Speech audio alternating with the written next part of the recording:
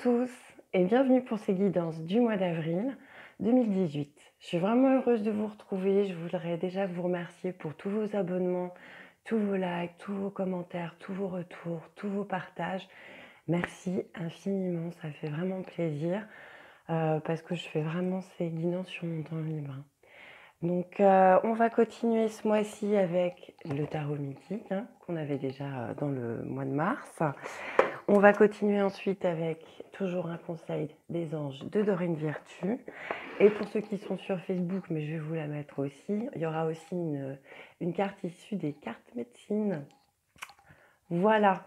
Euh, j'espère que le son vous ira mieux parce que là, du coup, j'ai euh, changé de système. On va bien voir ce que ça donne, mais moi, je trouve que c'est déjà beaucoup plus clair. En tout cas, là, franchement, je ne pourrais pas faire mieux en faisant, comme ça.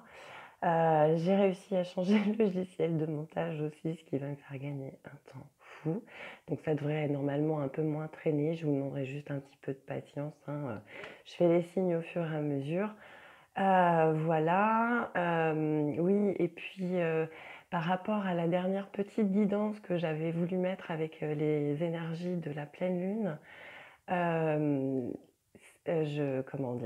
J'aimerais m'excuser par rapport au premier signe parce que c'est un nouvel oracle que j'ai reçu et quand je me suis tiré une carte, j'ai à peine eu le temps de commencer à lire. Je trouvais que les messages qu'il y avait dans le livret étaient vraiment super sympas.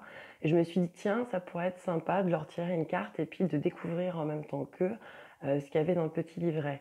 Donc du coup, je me suis pas, comment dire, je me suis débridée au fur et à mesure. Parce que bah, si je vous aide, enfin j'espère en tout cas pour certains vous aider avec ces guidances, bah, ça me fait travailler également moi aussi par rapport à ma confiance en moi.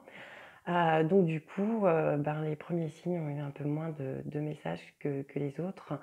Et comme j'avais pas réglé encore tous mes problèmes de montage, c'était pas possible de refaire la vidéo avec le, temps que ça m'a pris. Vous l'auriez jamais eu à temps euh, pour la pleine lune. Voilà, donc je voulais juste voilà, m'excuser auprès de ces signes-là. Bon ben voilà, en même temps je commence, donc c'est en forgeant qu'on devient forgeron, c'est en faisant des erreurs qu'on apprend pas parfaite hein, et euh, je ne tends pas à, l'être complètement. Hein, euh, les imperfections, c'est bien aussi. On en a tous et c'est ce qui fait notre différence. Donc, euh, ben, je vais vous souhaiter à tous un joyeux mois d'avril et puis je vous retrouve tout de suite pour votre guidance, signe par signe. Bisous Allez, c'est parti pour vous les vierges. Euh, alors n'oubliez pas que ces guidances sont d'ordre général, hein, que euh, je vais évoquer beaucoup de, cas différents, mais euh, je veux dire, tout ne peut pas être pour tout le monde. Hein. Vous prenez ce qui vous parle, et puis vous pouvez aussi aller voir vos signes ascendants et lunaires pour avoir des compléments d'information par rapport à votre situation. Et puis oui, il y en a qui m'ont demandé, donc oui, je fais bien des guidances personnalisées, mais aussi des soins. Euh, j'ai euh, mis déjà pas mal de trucs en dessous de la barre d'infos, des liens pour aller voir mon groupe, ma page, etc. Et puis si vous avez des questions, bah, vous pouvez m'écrire tout simplement à la dame libérienne tout attaché sans accent at gmail.com euh, ou m'écrire par Messenger. Voilà, voilà, on va commencer tout de suite avec votre première carte pour votre début de mois. Alors nous avons le fou qui plutôt sympa, hein, franchement, dans, ce jeu le fou. Donc une arcane majeure, donc message important. Bon, là, euh, vous, allez, vous avez plutôt l'air de commencer, euh, on va dire, le mois assez euh, léger. Hein. Il y a un esprit de d'enthousiasme, de joie. Alors le fou, ça peut être, ça peut être vous. Hein. il peut, il peut vous représenter ou il peut représenter quelqu'un d'autre à vous qui a ses qualités ou l'énergie tout simplement du moment. Euh, donc le fou, c'est celui qui commence en plus euh, le tarot. Hein. donc euh, il y a une idée peut-être aussi comme ça de, de, de nouveaux départs où on, y va, la fleur au fusil. et on n'a pas peur de, de faire le grand saut, j'ai envie de dire pour certains. Parce que vous voyez, il a quand même une jambe en l'air, il saute complètement dans le vide, il ne sait pas du tout où il va mettre les pieds. Là, il y va avec de la foi, de la confiance. Euh, il ne sait pas où ça va le mener, mais euh, il ose, il prend le risque, il y va et euh, il n'a pas peur. Il y a un peu un, petit côté même insouciant comme ça. Donc bon, la carte là, elle représente aussi, hein, le printemps, qui commence, c'est, pour moi aussi la carte de l'enfant intérieur qui s'exprime donc pour certains peut, faire attention à lui, hein, peut-être pas je quand je dis, heu, faire un travail, c'est peut-être pas un gros travail de fond, mais en tout cas à veiller à bien l'honorer. En tout cas, mmh, il y a vraiment un comme une renaissance, comme un un beau commencement qui se profile, hein. On a un beau gros soleil, heu, derrière à l'horizon, heu, malgré tous les chemins là qui ont l'air en zigzag, on sait pas trop ce qui ce qui rentre, mais voilà, il part, heu, pour de nouvelles aventures. En plus, il est protégé. Il y a un aigle sur la branche au-dessus, qui, qui représente le grand esprit. Donc il y a une certaine, connexion aussi avec, avec la nature. Hem, il sort de sa grotte en tout cas. Heu, c'est un petit peu comme s'il revoyait un peu la lumière. Voilà, voilà ce qu'on peut dire déjà pour, heu, pour votre 1 carte. On va regarder la suite. Clac. Là, par contre, on a le 2 d'épée. C'est tout de suite un peu moins joyeux là, le le 2 d'épée. Alors le 2 d'épée, heu, vous voyez, il y a un homme et une femme qui s'affrontent, hein, enfin en tout cas qui sont, heu, face à face avec une épée, avec un homme derrière qui a les mains, heu, posées sur la tête, ou plutôt sur les oreilles et les yeux fermés. Il y a un ciel qui a l'air, pas mal chargé aussi derrière, un peu comme, prêt à péter.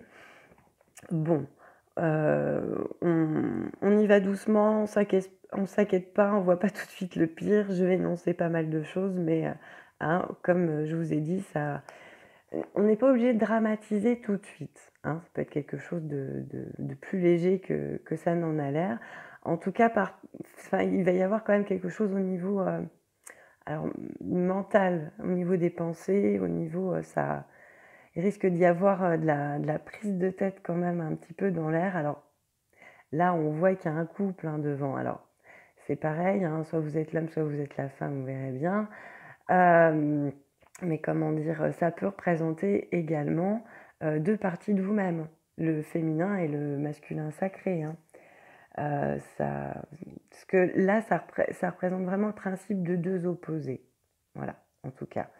Avec un homme, lui derrière, qui qui a pas l'air de vouloir voir grand-chose, hein. Il va falloir faire attention, au déni. Là, cette carte, elle vient vous dire qu'il y a des choses qui sont sous vos yeux. Je pense qu'ils sont déjà là, et hem, et sur lesquels vous voulez peut-être pas les ouvrir justement. Le problème, c'est que de faire l'autruche, ça ne résout rien, heu, si vous faites comme si de rien n'était en attendant que l'orage passe, ça va pas disparaître, hein, pour autant. C'est bien, c'est sûr, des fois ça peut arriver, hein, que bon, voilà, la nuit passe et puis, le problème, disparaît, heu, ça c'est quand, heu, les gens ont des sautes d'humeur. Mais ici, c'est pour quelque chose qui est plus profond. Hem, c'est, il y a y a une idée de de paralysie, de de prostration. En fait, on a l'impression que chaque personne, reste sur ses positions, campe un petit peu là comme ça, sur, sur ce qu'il veut, heu, ose pas trop bouger un petit peu comme s'il avait peur qu'en bougeant, hem, ça pourrait déclencher une guerre. Alors, je m'explique.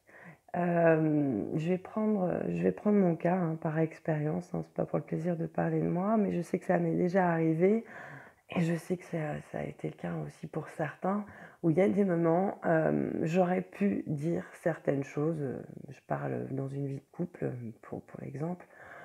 J'aurais pu dire certaines choses, mais vu le caractère de la personne en face, je j'avais un peu de mal, quoi et je me disais: «Bon, voilà, peut-être que l'orage va passer», effectivement. Sauf que non, c'était vraiment sur des valeurs de fond, sur enfin, sur des problèmes de fond, en tout cas et heu, ben, si on traite pas là, heu, c'est du reculer pour mieux sauter. C'est-à-dire que ça revient, ça revient, ça revient et de toute façon, tôt ou tard, il vaudra mieux traiter. Donc on peut prendre cette carte un petit peu ici comme une mise en garde, pour vous dire que si vous attendez que l'orage passe, ben, là, c'est pas c'est pas la chose à faire, en tout cas. Hem, c'est pas ce qu'on vous conseille ici, heu, parce que parce qu'il y a de la tension, il y a y a des angoisses, heu, face, face à une certaine réalité aussi, hein.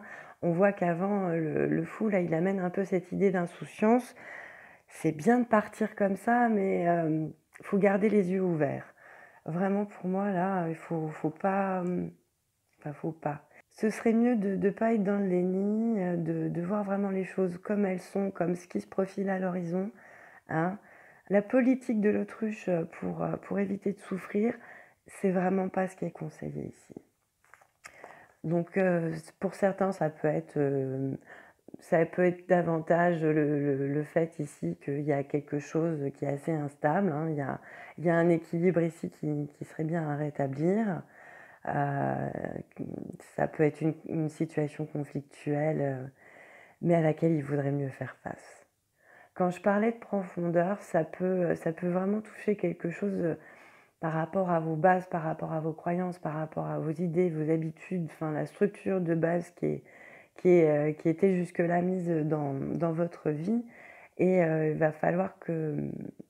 J'ai l'impression qu'il va falloir malheureusement accepter euh, de, revoir quelque chose. Alors peut-être pas tout, peut-être que c'est juste un point de détail, hein. mais ça a l'air d'être quelque chose pour lequel soit on semble ne pas vouloir lâcher, soit on a peur de l'exprimer. Mais franchement, pour vous donner un exemple euh, personnel, mais cette fois-ci plutôt par rapport au niveau pro, à un moment j'avais euh, accepté de travailler pour une amie parce qu'elle était un peu en, galère. Euh, et, en fait, je me suis retrouvée à, me dire non à moi et à voir tout ce que j'avais réussi à mettre comme équilibre en place, à être complètement déstabilisée. Et, en même temps, je ne voulais pas la lâcher tant qu'elle n'avait pas quelqu'un d'autre. et je, parce que je l'avais fait à la base pour lui rendre service, donc j'étais assez, euh, euh, gênée, assez mal à l'aise avec cette situation. Ça m'a pris énormément la tête. Puis au bout d'un moment, euh, ben, j'ai pris le temps de lui dire les choses, mais je l'ai fait à un moment précis, d'une manière, enfin comment dire, j'ai choisi mon moment, quoi. J'ai choisi le moment et la manière dont je lui ai dit les choses. Et euh, malgré toute la peur que je m'étais faite, ça a été super bien accueilli. Elle l'a, bien compris et toute la pression que je m'étais mise à ce moment-là, je me suis rendu compte que je m'en étais fait une montagne, que je m'étais peut-être même donné un peu trop d'importance euh, par rapport à ce qui était. Et, euh, elle l'a tout à fait compris. c'est, limite elle à la fin qui m'a dit Mais non, écoute, quand même pas que tu te rendes malade pour moi non plus j'ai été vraiment agréablement surprise et j'ai pris ça comme un cadeau de l'univers, me disant, bah voilà, tu vois, euh, tu aurais pu, euh, comme tu l'avais déjà fait précédemment, euh, ne rien dire et puis, ben, toi, en, faire les frais. Eh ben, tu l'as fait, félicitations. Ici, je pense que c'est ce qu'on, moi, moi c'est ce qu'on m'amène en tout cas pour vous ici. Donc, si jamais vous avez, vous avez vous avez de la peur là comme ça qui traîne parce qu'il y a l'air d'en avoir un petit peu. Euh, puis ça peut être compréhensible hein, s'il y a un moment où c'est tendu aussi euh, entre vous et d'autres personnes, jamais agréable. Hein. Mais là ici, rappelez-vous que euh, c'est c'est pas la peine de partir tout de suite et de se faire des, des films et d'avoir trop de peur et de hein, un petit peu, revenez à vous, centrez-vous dans votre cœur ça, ça, vous aidera en tout cas euh, pour ce moment-là. Donc, je vais vous donner les messages complémentaires euh, du coup qu'on peut associer entre le fou et le, et le 2 d'épée. Donc pareil, hein, c'est pas le cas pour tout le monde, vous prenez chacun selon votre cas. Alors, ça peut être déjà une remise en question inattendue d'une association, hein, quelle qu'elle soit, que ce soit au niveau du couple, au niveau des affaires, au niveau professionnel. Pour certains, ça va peut-être être plutôt des troubles judiciaires ou administratifs. Pour d'autres, euh, ce sera peut-être, euh, là par contre, un peu moins sympa, une trahison, euh, voire même une demande de divorce hein, dans certains cas. là, ici, on vous rappelle qu'il y a une certaine emprise hein, qui est exercée de l'autre côté et qu'il faut vraiment veiller à ne pas être sous la coupe de ça. Hein. Pour d'autres, ça peut être le risque de, de, foncer un peu trop vite, là, avec l'énergie du fou et de, de, vouloir se marier un peu trop vite. Euh, pour d'autres, ça peut être une rechute euh, au niveau de la santé. Si certains ont tendance à faire des crises, euh, là, il risque d'y en avoir une au milieu de moi. voire même dans certains cas, de manière un peu plus grave, un, risque de schizophrénie.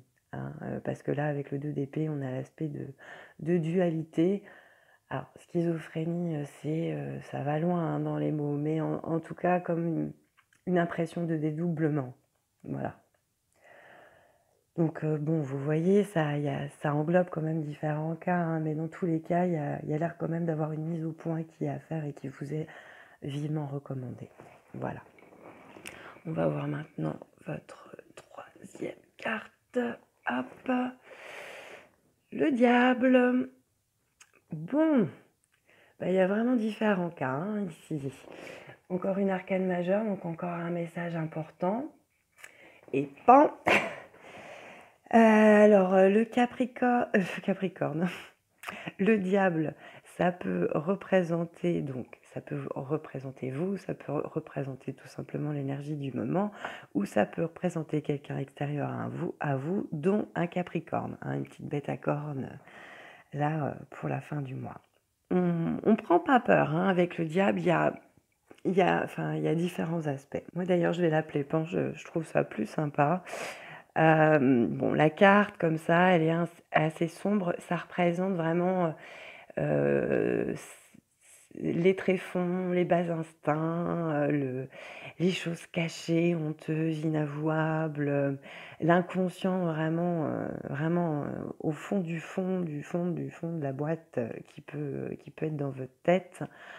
mais ça peut représenter aussi, dans ses bons aspects, parce qu'il y en a, heureusement, ça représente aussi le magnétisme, la, jouissance. Euh, il y a quelque chose de, très attractif, euh, de, très puissant au niveau de l'énergie sexuelle aussi. Euh, il y a, la musique aussi, hein, parce que donc le diable, c'est le, le dieu Pan.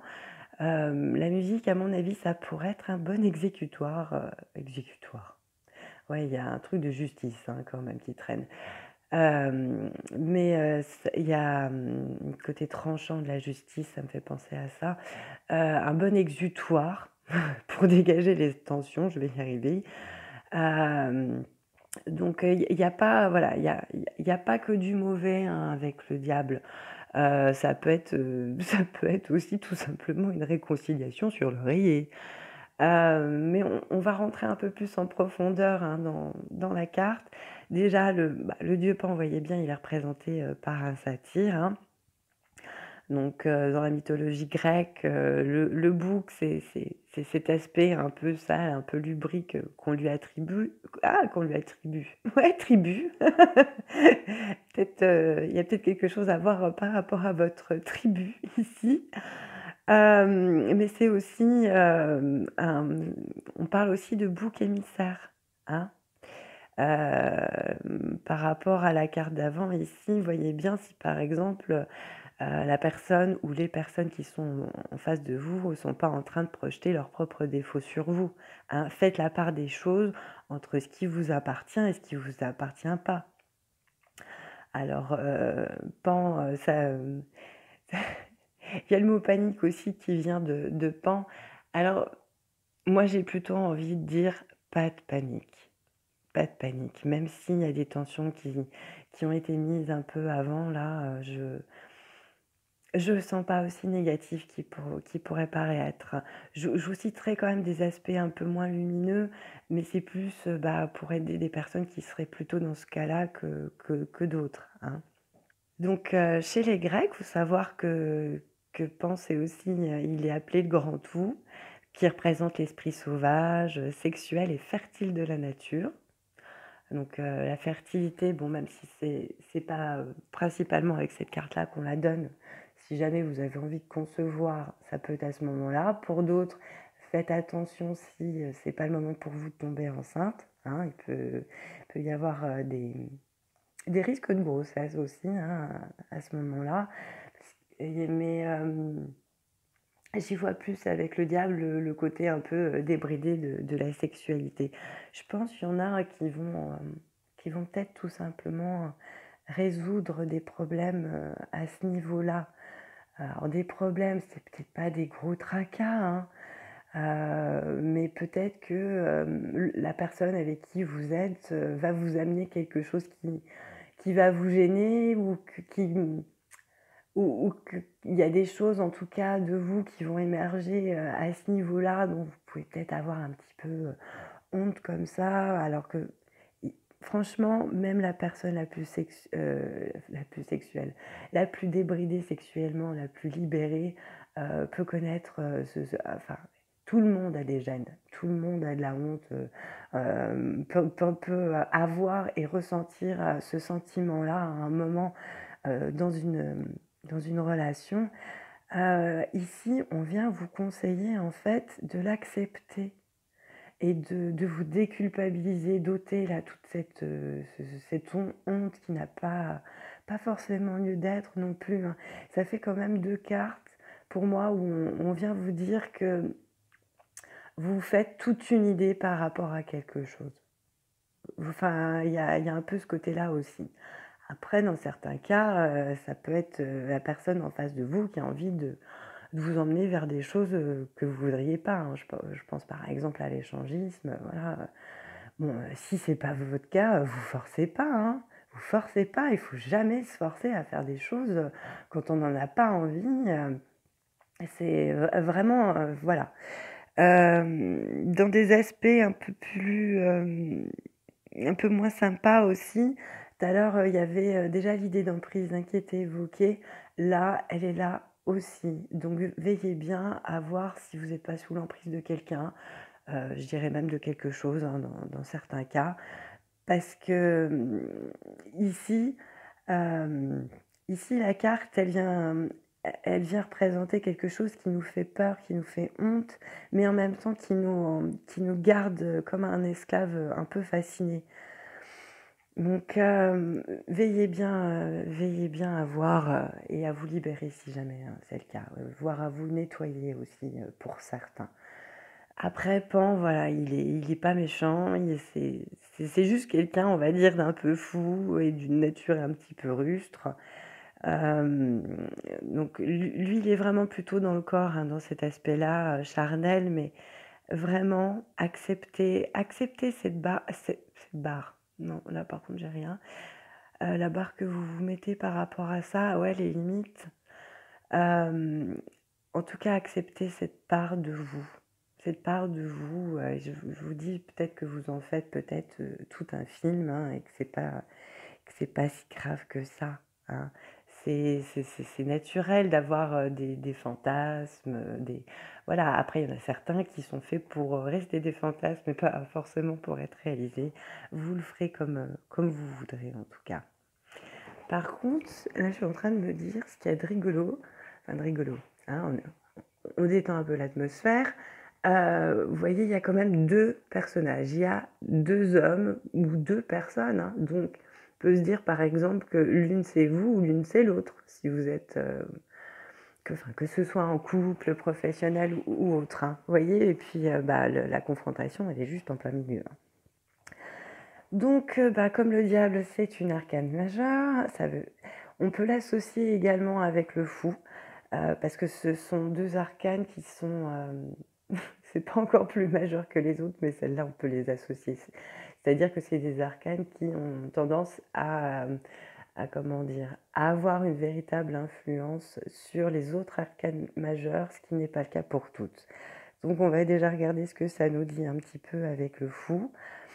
Euh, alors pour certains, ça peut être, euh, ça peut être des affaires louches. Hein. Donc euh, vous, ouvrez bien les yeux, je le redis encore. Pour d'autres, ça peut être, euh, ça peut être un mariage ou une, liaison qui est malheureuse.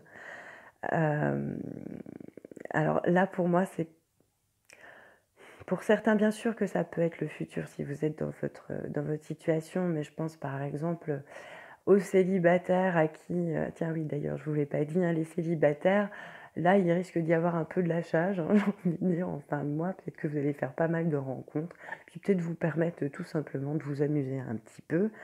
Euh, mais bon, pour les couples, euh, comment dire, là, cette carte-là, elle tombe là en fin de mois.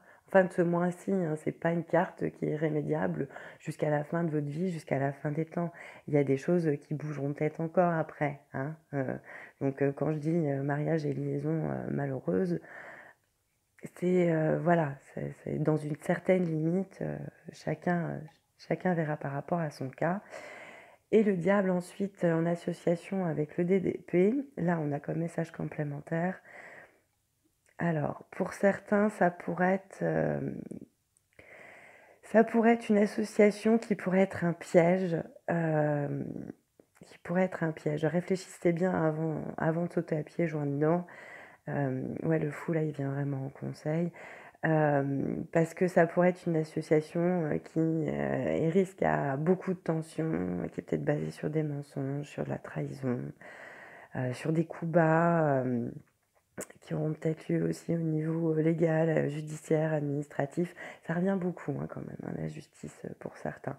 Je, c'est pareil, hein, cette carte-là, vous voyez, elle, comme toutes les autres, euh, elle va peut-être vous parler plus sur un plan que sur un autre. Hein. Tout le monde n'a pas et des problèmes sexuels et des problèmes judiciaires en même temps. je ne vous le souhaite pas. Comprenez ce que je veux dire euh, Ça peut aussi être euh, une certaine forme de mauvaise influence avec, avec le 2DP là, en association. ça, peut être, ça peut être la belle-mère. Hein. Bon, je trouve ça un peu moche de, de réduire ce, ce... Enfin voilà, pour moi c'est vraiment c'est vraiment un peu un stéréotype. Hein. La, belle-mère, hein, ça peut être le beau-père hein, aussi, euh, ça peut être votre conjoint. Euh, il y a une idée d'occulte aussi qui ressort encore à nouveau. Il y en a peut-être qui devraient se faire des soins de dégagement, ça leur ferait pas de mal. Il y en a d'autres pour qui ce sera du chantage financier, voire même du vol. Et, euh, et à nouveau, peut-être peut-être des menaces de divorce et de séparation. Alors je dis bien menaces Hein, donc ça ne veut pas forcément dire que c'est une séparation, mais euh, voilà, dans certains cas, ça ira peut-être un peu plus loin et ça sera peut-être amené sur le sujet. Donc maintenant, je vais, je vais quand même vous montrer ce qui en fond de paquet parce que forcément, il est comme ça, ça m'a un peu interpellée. Euh, voilà, j'avais envie de vous donner, euh, on va dire, la suite d'un éclairage. Donc, c'est pas forcément propre au mois d'avril, je le répète. Hein, les fonds de paquet, c'est plus pour vous éclairer sur la situation et sur ce qu'il y, a, à venir. Donc on commence, vous voyez, là ici, le 3 de coupe. Donc pour moi, ça insiste quand même. Enfin, il y a beaucoup de messages ici, là, hein, par rapport au couple. Voyez, avec la maison Dieu et 7 de bâton, donc détention de la lutte. En plus, on a le principe du feu et de l'eau. Donc, on a à nouveau le principe euh, des, des, opposés, hein, avec euh, la carte du 2. Là, après, euh, on a le 4 de denier. Alors, le 4 de denier, moi, il me fait penser à peut-être un peu de, jalousie, mais c'est surtout le, fait de, trop rester campé sur ses positions et de s'entêter et de veiller un petit peu à ça. Euh, après, on a le valet de bâton. Alors, moi, j'aime bien, pour moi, j'ai l'impression qu'il invite à, faire un saut, à passer en fait euh, au-dessus au des choses pour arriver au 10 de denier. Attendez, je remonte parce que je m'étais un peu décalée. Euh, au 10 de denier, euh, là où vous voyez, il y a une famille heureuse. Enfin, ça représente une famille heureuse, c'est peut-être pas votre idéal. Hein. Par exemple, dans le boulot, euh, ça, peut, être de s'accomplir, mais ça représente vraiment la carte là de, de l'accomplissement, de l'abondance à tout niveau. Mais voilà, il faudra peut-être un peu de, temps et puis il faudra peut-être un peu lâcher prise hein, surtout. Ça, ça peut être ça. Peut être ça. Il peut peut-être y avoir aussi une, idée de, bah, de sacrifice. voilà, de, peut-être que vous avez juste des compromis à faire et que voilà, c'est un point sur lequel vous, vous devez lâcher. Hein.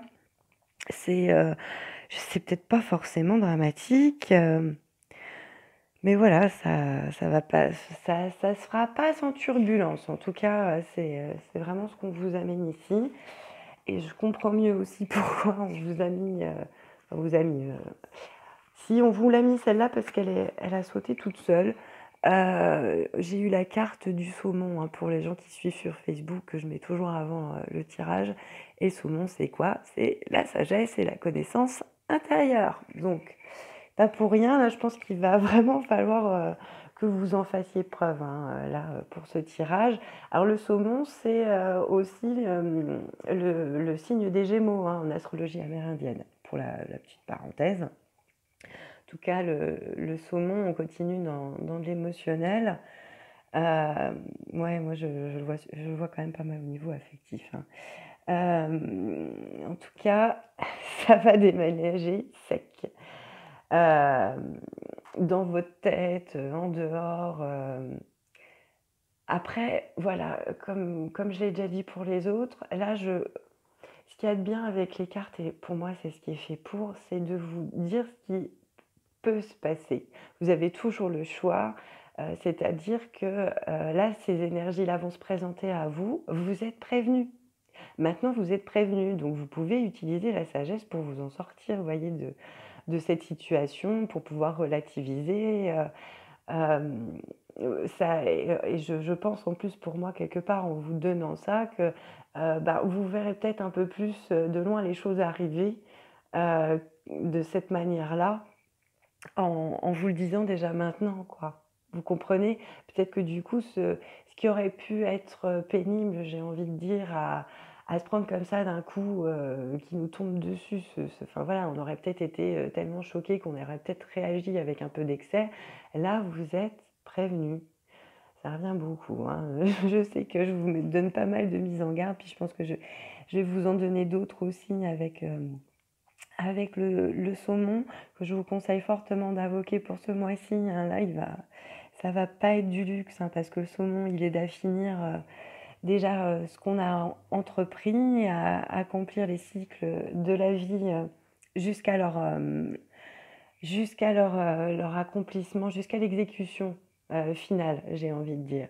Donc là, comme vous êtes quand même dans un nouveau départ, c'est la première embûche, j'ai envie de dire vraiment, qui se présente à vous. Donc, si vous voulez arriver au bout du cycle, hein, parce que là, c'est vraiment juste la première petite, marge, peut-être que c'est la première dispute euh, pour un nouveau couple, hein, par exemple, j'entends. Euh, là, il vous aidera à aller plus loin, hein, il vous aidera à aller jusqu'au 10 de denier. Le saumon, il vient vous dire aussi que chaque rencontre que vous faites euh, vous apportera un certain degré de sagesse. Donc, même si jamais euh, vous, avez, vous croisez des gens, on vient à vous, je veux dire là, pas à votre conjoint ou votre partenaire en affaires, mais des gens encore extérieurs, euh, vous pouvez peut-être avoir aussi des messages par, ce biais-là. D'ailleurs, rien ne vous empêche aussi de demander à vos amis, par exemple, si euh, comment eux ils voient les choses, comment ce qui fera à votre place. bon, gardez votre sagesse intérieure. Hein. Là, c'est ce qui vous est recommandé. Euh, pareil, euh, ça me fait penser à l'idée d'emprise qu'il y avait avant. On y revient là aussi avec le saumon. Euh, méfiez-vous des influences. Alors, il y a des gens qui peuvent être de bons conseils, il y en a d'autres un peu moins. Quand on vous dit depuis le début de garder les yeux ouverts, c'est vraiment votre sagesse intérieure, c'est votre cœur. Si vous, vous, écoutez réellement à l'intérieur de vous, et je parle de ça sans l'intervention du mental, hein, qui nous est évoqué par le, le 2 d'épée, euh, vous pourrez savoir si vraiment vous êtes en train de faire des films euh, ou euh, vous êtes en train de penser correctement. Si ça résonne vraiment avec vous et que vous savez que les choses doivent vraiment être faites comme ça. Là, je pense que le saumon, ça vous apporte aussi de, la diplomatie. la sagesse du saumon, c'est aussi de, savoir quelque part prendre un petit, un petit temps de, recul quand on a l'impression hein, d'être un peu débordé ou d'être un peu trop entraîné un petit peu dans son mental. Certains, ça sera plus léger et que ça vous ferait pas de mal justement de vous laisser un petit peu, euh, un petit peu porter. Là, euh, cette expérience de vie qu'on vous amène, euh, elle sera peut-être pas agréable dans certains cas, mais elle est nécessaire pour, la suite. Là, c'est c'est pas un truc qui, devant lequel il faut faire l'autruche. Hein. Je suis désolée, je sais pas comment le dire autrement, mais ça revient encore. Le saumon vient rappeler aussi de, vous méfier euh, des tentatives de manipulation extérieure. Hein. Je le disais déjà là encore avant. Euh, et rappelez-vous aussi que bah, la sagesse, ça ne s'acquiert pas toujours dans les situations faciles. Hein. c'est justement des fois en confrontant ces idées avec quelqu'un euh, qu'on peut, voir aussi les, choses sous un autre angle. On avait le pendu hein, là pour moi qui était un message dans le fond de paquet. Donc, vous écoutez votre cœur, vous prenez le temps de vous recentrer s'il faut, et puis après, hop, euh, vous retournez dans la rivière et euh, un petit peu comme le fou, là, vous voyez, là, on les voit bien. moi, l'idée de rivière, elle vient là, là, avec. Euh, avec pourquoi j'ai des sinus? Non, avec les. Oh, en serpent, voilà, en zigzag, je vais y arriver. Hein, c'est, les énergies sont, sont, bien à prendre en compte. Là, c'est, une leçon qui vous fera peut-être grandir tout simplement. Hein faut juste pas, pas être complètement inconscient non plus. Hein, et, puis, et puis faire la part des choses entre ce qu'on vous dit et ce que vous pensez juste réellement à l'intérieur de vous, à peut-être pas être trop entêté ou, ou à insister pour, pour avoir ce que vous voulez ou pour avoir raison. Hein. Là, je, pense qu'il va falloir lâcher et peut-être accepter un petit peu de. C'est pas perdre. Si, perdre le contrôle. Si, perdre le contrôle. Enfin, c'est pas un contrôle total en fait, voilà, c'est ça que je voulais dire. Euh, vous n'êtes pas obligé de vous abandonner euh, à ce que veut l'autre euh, complètement. Mais vous pouvez voir, voir comment, c'est pas vous pourriez lui faire plaisir, mais lâcher un peu du lest, trouver un accord pour que tout le monde soit gagnant. Voilà. Désolée. Voilà, donc euh, c'est ce que je pouvais dire pour cette carte. Maintenant, on va regarder ce que vous avez en conseil euh, pour les anges. Ah bah, chakra du troisième œil. J'arrête pas de dire depuis le début de garder l'œil ouvert, hein, c'est pas pour rien. Vous pouvez voir l'énergie de l'amour sans danger, qu'elle apparaît sous la forme d'un ange, d'une aura ou d'une vision. Vous voyez euh, bon, donc ça va peut-être être un chakra à, travailler. D'ailleurs, là, j'y pense. C'est venu au fur et à mesure. Là, j'avais mis quelques pierres au début. Au fur et à mesure, je les ai changées pour les guidances. Puis là, avant, j'ai carrément demandé euh, pour les, pour les deux, trois derniers, donc, euh, donc vous, et je le ferai pareil pour les précédents, quelle, quelle pierre voulait être là avec nous. Donc, Bon, moi, il y a les deux pierres là que je, laisse qui sont, qui sont pour moi. Il y a une, une merlinite hein, qui est euh, la pierre bah, de Merlin, des alchimistes, des fées, pierre de Sintamani aussi. Et j'ai demandé lesquelles euh, voulaient être là pour vous. Donc, on a la métisse qu'on a là, là-haut aussi. Attendez, je vais essayer de vous l'amener. C'est quand même assez magnifique. Qui fait travailler. Euh, alors là, c'est plus pour le, pour le chakra couronne. Hein. mais ça aide, ça, peut aider à éclaircir un petit peu euh, ses pensées, à y voir plus clair justement. Euh, il y a un, quartz rose, ça c'est pour le chakra du cœur. Je pense que pour pouvoir entendre et accepter certaines choses, euh, l'ouverture du cœur sera pas mal. Un cristal de, roche, bah, c'est le cœur d'Isis d'ailleurs. oui, j'ai eu un petit clin d'œil aussi à Isis. Pour, pour certains, s'ils veulent l'invoquer, ça peut être pas mal aussi, la grande prêtresse. Et puis, on a eu un petit lapis-lazuli. Alors, ça tombe bien, c'est justement pour le chakra couronne et euh, le, troisième œil. J'associerai ça aussi à la gorge. Hein. donc, n'ayez pas peur de dire ce que vous avez euh, envie de dire. Euh, après, dites-le avec sagesse, amour et bienveillance, avec diplomatie, quoi, hein, tout simplement. Euh, donc ici, cette carte, euh, elle vient dire aussi que ben il y en a peut-être qui vont avoir des visions, hein. il y en a peut-être qui ont, cette faculté justement de clairvoyance. Alors peut-être que certains l'ont déjà, peut-être que pour d'autres elle va arriver, euh, encore pour d'autres peut-être même se développer davantage. Mais on revient ici sur le fait aussi de ne pas se faire de film. Euh, par contre, euh, ce qui est cool, c'est qu'elle euh, vient aussi vous dire de prêter attention à tout ce qu'on va vous mettre sous les yeux, hein, tout ce qui va être mis à votre vue là. Comme les les heures miroirs, des mots, des rêves, des films, des plumes, des nuages. Il y a plein de choses qu'on va vous mettre, va vous mettre sous les yeux. Donc, faites-y attention, ça pourra peut-être aussi vous donner justement des réponses par rapport à votre situation. ah oui, attendez, je vous ah bah non, je la remettrai après. et puis je il est là depuis le début, parce que c'est il est sur mon hôtel aussi avec, avec toutes mes pierres. C'est Ganesh. Je pense que vous pouvez lui demander aussi de l'aide, hein, ce mois-ci à Ganesh, parce que c'est le leveur d'obstacles quand même par excellence. donc maintenant, je vais vous lire la petite marche à suivre qui est dans le carnet. Donc je vais pouvoir vous mettre la carte des saumons, enfin du saumon. Alors, assis dans le calme, dites. Bon bah désolé, on a été coupé. J'avais, euh, il n'y avait plus de place sur la carte SD. Euh, donc, je reprends. Marche à suivre. Assis dans le calme, dites. Archange Raphaël et ange de la clairvoyance, je vous appelle en cet instant. Déposez, je vous en prie, une énergie d'amour tout autour de ma tête et purifiez mon troisième œil des craintes, blocages, intrusions ou entités indésirables il y en a vraiment qui doivent faire un soin pour se dégager.